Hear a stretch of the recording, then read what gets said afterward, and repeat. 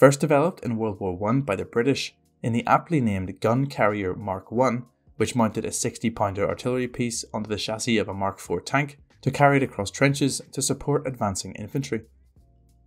In the interwar period, the British developed the concept further into the more capable Birch gun, but it didn't really catch on, and even by the start of World War II, everyone was still using towed artillery pieces.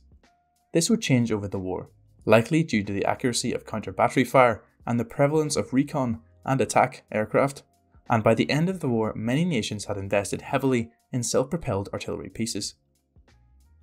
Germany had the Wespe, Hummel, Bison, Grille, and Sturmpanzer.